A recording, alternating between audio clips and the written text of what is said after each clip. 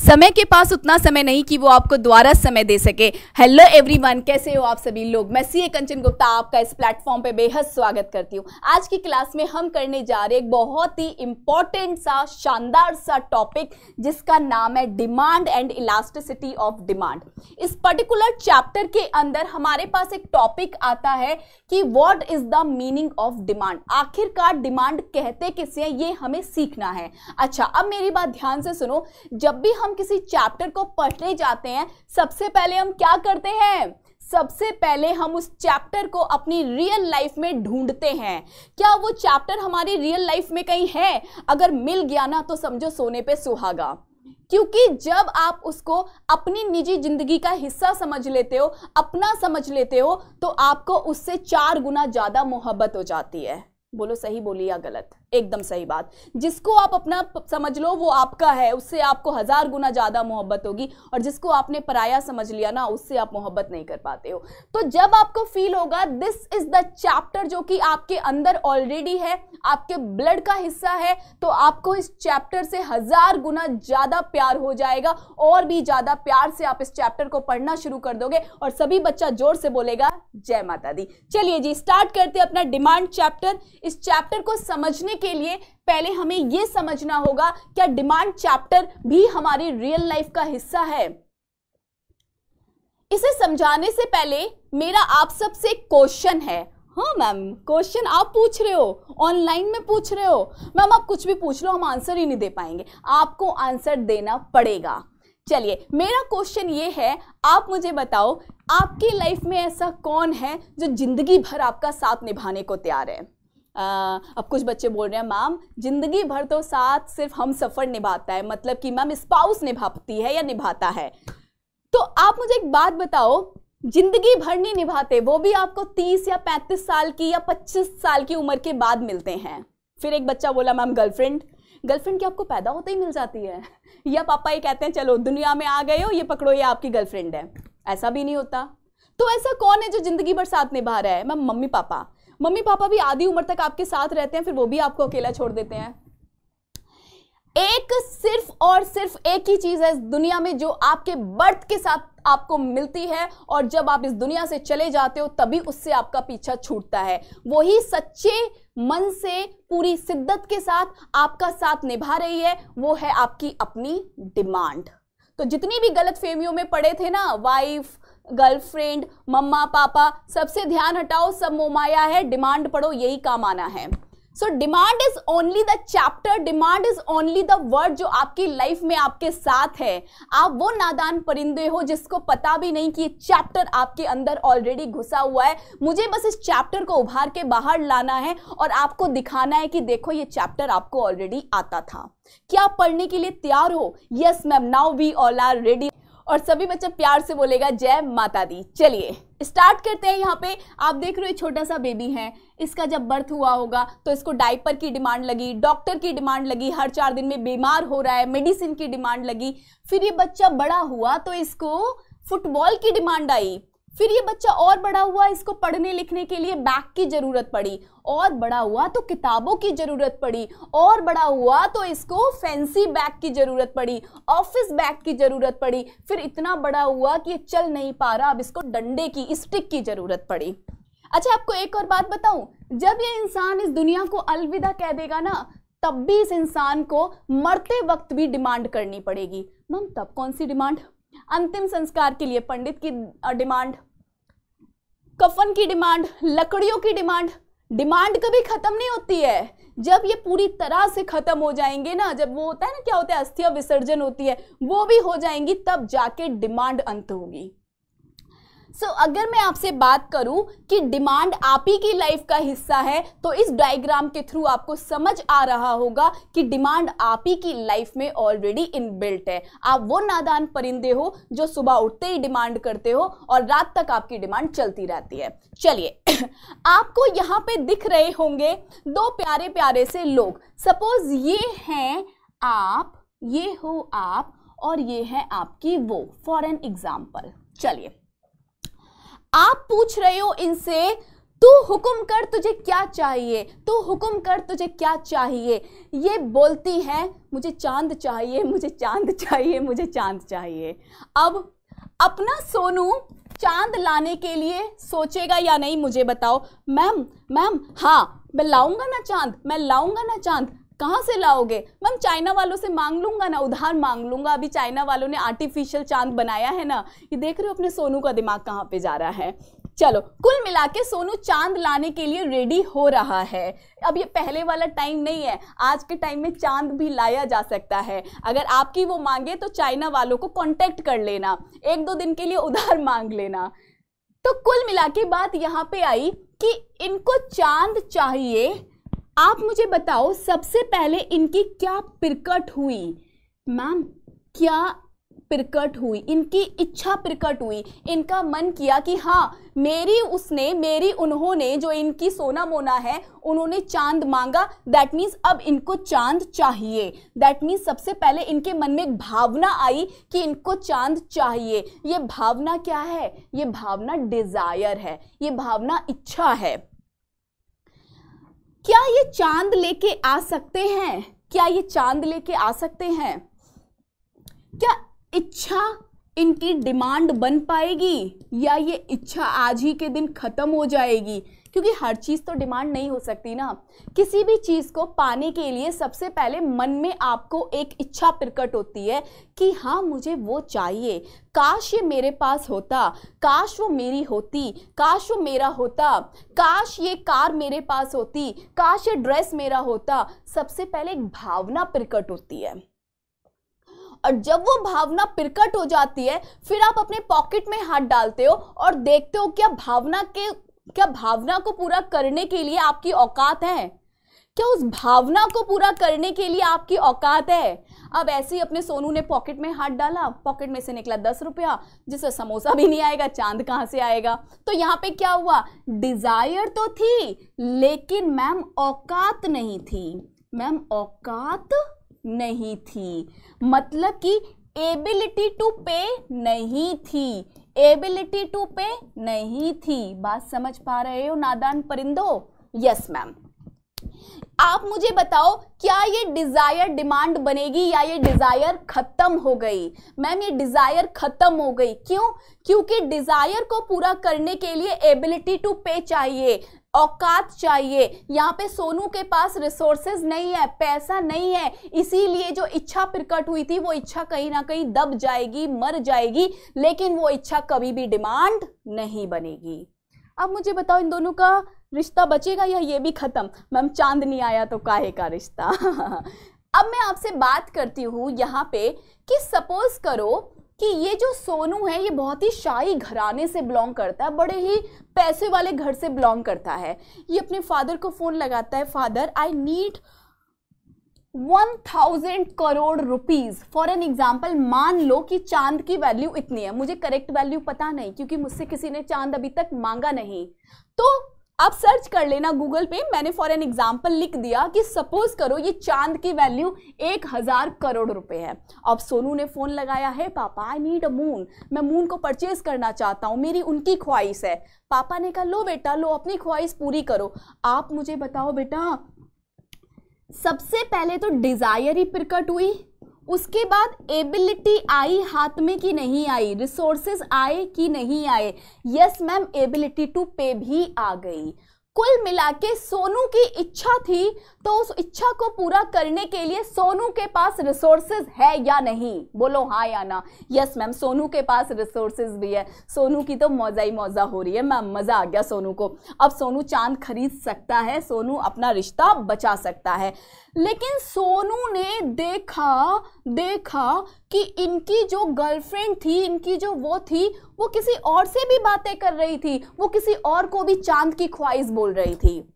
अब सोनू के दिमाग की घंटियाँ बजने लगी, धन धन धन धन धन धन धन धन।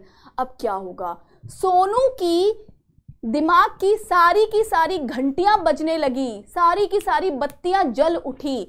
अब सोनू ने कहा कि मैं यहाँ पे इनके लिए एक हज़ार करोड़ रुपए बिल्कुल भी वेस्ट नहीं करूँगा। मैं सीए कर रहा हूँ, मैं सीए स्टूडेंट हूँ। मेरे पापा ने मुझे ये पैसा दिया है, मैं इस पैसे को ले जाके स्टॉक मार्केट में लगाऊँगा और इस पैसे से बहुत मोटा पैसा कमाऊँगा।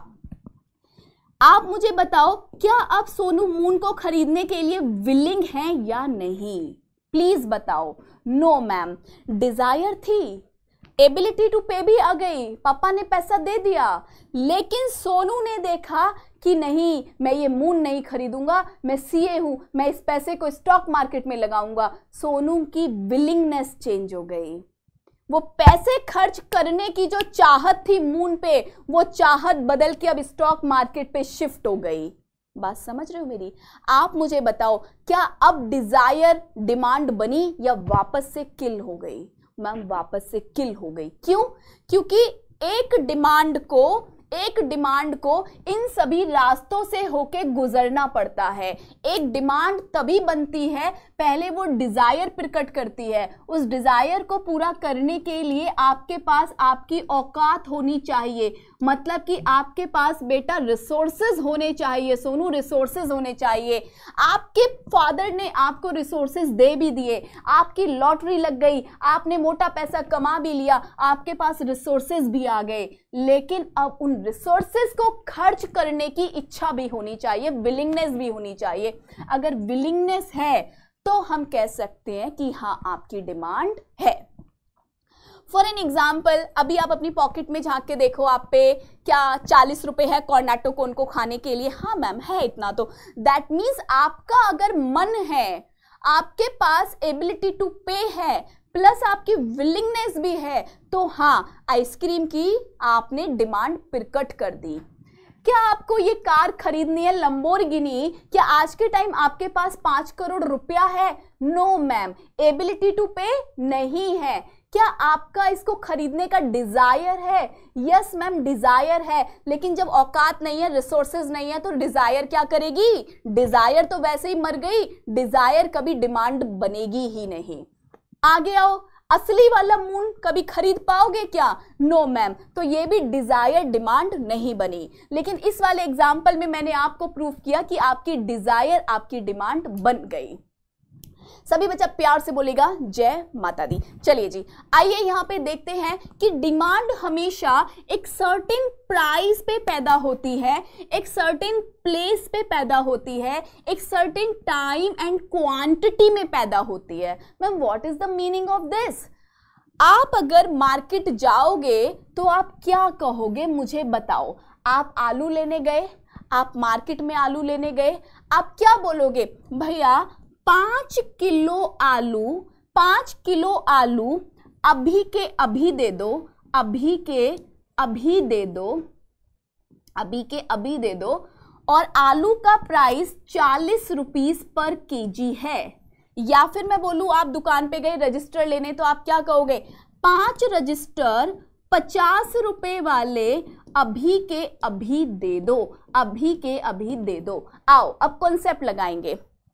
पाँच registered this is what quantity पचास रुपए वाले दिस इज़ वॉट प्राइस अभी के अभी दे दो दिस इज़ वॉट टाइम एक डिमांड को फुलफिल करने के लिए तीन एलिमेंट्स होने चाहिए। डिमांड को फुलफिल करने के लिए तीन एलिमेंट एडजस्ट करते हैं। क्वांटिटी प्राइस टाइम सभी बच्चा साथ में बोलोगे, ज़ोर से बोलोगे quantity price time quantity price time ये तीन एलिमेंट्स होते हैं डिमांड को एक्सप्रेस करने के एलिमेंट्स आइए, डिमांड हमेशा एक सर्टेन प्राइस में आती है सर्टेन टाइम पर आती है सर्टेन क्वांटिटी में आती है डेफिनेटली एक प्लेस होता है। अगर आप ऑनलाइन खरीद रहे हो तो आप ऑनलाइन मार्केट में ई कॉमर्स के थ्रू चीज़ों को परचेज करोगे तो वो online platform is also the place लेकिन जब आप एक फ़िज़िकल मार्केट में जाके चीज़ों को परचेज करते हो तो वो physical place is also known as the place थोड़ा सा मैं आगे बढ़ जाती हूँ, जिसपे बच्चों का कॉन्सेप्ट पे एक और डाउट आता है कि मैम डिमांड फ्लो कॉन्सेप्ट है या स्टॉक कॉन्सेप्ट है? ये एग्जामिनर भी बहुत बार आपसे क्वेश्चन पूछता है। बताओ बच्चा demand is a flow concept और स्टॉक कॉन्सेप्ट आप सभी नादान परिंदे, आपको पता नहीं, आप गलत करके आ जाते हो। चलो, अब इस बात को सीखेंगे। कैसे सीखेंगे? वही सोचो ना खुद से, क्यों इतना दिमाग लगाना है यहाँ पे? यहाँ जो लिखा है, वही थोड़ी ना पढ़ने के लिए आए भगवान ने इतना ह्यूज ब्रेन दिया है, हम सी को, आप सबको तो इसका यूज़ करेंगे ना। अब मुझे बताओ, आज आपको भूख लगी है, और बहुत ज़ोर से भूख लगी है। मम्मी मैगी चाहिए, मम्मी मैगी चाहिए, मम्मी मैगी चाहिए। आपकी मम्मा आपसे बहुत प्यार करती है, ले बेटा मैगी खा। आपको मैगी मिली, आपने खा ली क्या कल आप मैगी की डिमांड नहीं करोगे? क्या परसों आप मैगी की डिमांड नहीं करोगे? क्या आप अब कभी भी मैगी की डिमांड नहीं करोगे? इज़ इट पॉसिबल आपको आज कपड़े पहनने हैं, आज आपने कपड़े पहन लिए। क्या आप कल कपड़े नहीं खरीदोगे? क्या आप उसके बाद कभी कपड़े नहीं खरीदोगे? डिमांड कभी भी रुकती नहीं है। डिमांड हमारी हमेशा चलती रहती है। डिमांड हमेशा चलती रहती है। डिमांड को बोला जाता है, demand is a flow concept. जैसे नदी का पानी है, आप देख रहे हो वो पानी बहता रहता है, बहता रहता है। उसमें एक फ्लो है, उसमें एक फ्लो है। सिमिलरली अगर मैं बात करूँ, जो तालाब होते हैं, जो पोंड होते हैं, जिनमें पानी रुक जाता है उस पानी को हम क्या बोलते हैं? ये पानी स्टॉक हो गया है। ये पानी रुक गया है। लेकिन वहीं आप देख रहे हो, रिवर का पानी बह रहा है, समुद्र का पानी बह रहा है तो वो क्या है? वो फ्लो हो रहा है। झरने से पानी गिर रहा है। वो क्या हो रहा है? वो फ्लो हो रहा है। आप मुझे बताओ, डिमांड अब स्टॉक है या फ्लो है बच्चा?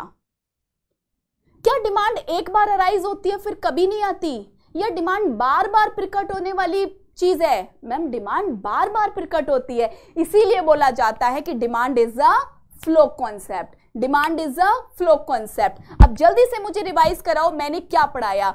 सबसे पहले हमें याद दिलाओ कि आखिरकार डिमांड कहते कैसे हैं। मीनिंग ऑफ़ द डिमांड क्या है? Ma'am meaning of the demand में तीन बातें हमें याद रखनी है। Desire ability to pay willingness to pay desire ability to pay willingness to pay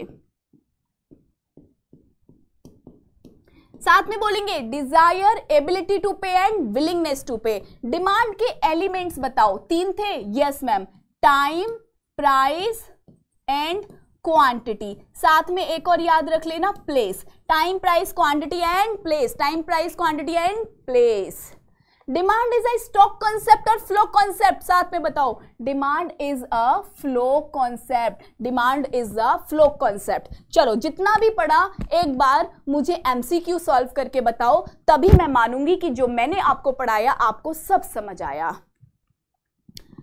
Question number one demand for a commodity refers to demand का क्या मतलब होता है? नादान परिंदे सभी बताओ, सोच के एक साथ। Desire backed by ability to pay मतलब कि मैम ऐसी इच्छाएँ जहाँ पे उन इच्छाओं को पूरा करने के लिए हमारे पास रिसोर्सेज हो। नो no, ये तो आधी अधूरी डेफिनेशन है ना। रिसोर्सेज होना ही काफ़ी नहीं है। रिसोर्सेज होने के साथ साथ विलिंगनेस भी होनी चाहिए। That means this is incorrect answer next need for the commodity मतलब कि सबसे पहले तो हमें उसकी डिज़ायर होनी चाहिए एंड विलिंगनेस होनी चाहिए। बेटा, जब रिसोर्सेज नहीं होंगे तो बिलिंगनेस क्या करेगी? अचार थोड़ी ना डालेगी वहाँ पे बिलिंगनेस तो ये भी गलत है। इन दोनों को मिला के एक होता ना तो सही हो जाता। लेकिन दोनों इंडिविजुअली गलत है, क्योंकि दोनों आधी आधी बातें बता रहे हैं। Next the quantity demanded of that commodity सिर्फ़ डिमांड करना ही डिमांड नहीं होता है। डिमांड को पूरा करने के लिए तीन एलिमेंट चाहिए। आगे देखो the quantity of commodity demanded जो चीज़ आप डिमांड कर रहे हो at a certain price during any particular period of time this is the correct definition और आंसर क्या होगा? ये। आपको देखो हल्का हल्का ये भी सही लगा हल्का हल्का ये भी सही लगा हल्का हल्का ये भी सही लगा। ये तो एकदम गलत लगा। आईसीएआई के क्वेश्चन में याद रखना, अगर तीन ऑप्शन है चार ऑप्शन है। आपको इसमें से मान लो चारों ही ऑप्शन, चारों ही ऑप्शन सही लग रहे हैं तो आपको यह सोचना है उस टाइम पे कि ज़्यादा सही कौन सा है। समटाइम ऐसा ही होता है स्ट्रेट फॉरवर्ड क्वेश्चन नहीं होते हैं। आपको चारों ही बातें सही लगेंगी, उनमें कुछ ना कुछ कमियाँ होंगी। पूरी बात तो देखो बेटा, ये भी नहीं है ना। लेकिन ज़्यादा सही ये वाली है। इन सब के कंपैरिजन में ज़्यादा सही ये वाली है। तो आंसर क्या होगा? यही होगा। तो इसी तरीके के बहुत सारे क्वेश्चंस हम करने वाले हैं। हर टॉपिक पे करेंगे, लेकिन अभी मैंने आपको डिमांड का टॉपिक पढ़ाया, डिमांड का मतलब समझाया तो पहले डिमांड से related question. This is the question बताइए आंसर क्या होगा? इस demand is a flow concept stock concept flow and stock concept या फिर नन ऑफ़ द अबव अक्कड़ बक्कड़ बम्बे बो। आंसर आएगा यहाँ पे। क्या आएगा बताओ जल्दी। मैम, आप ही ने तो बताया था, demand is a flow concept. Very good.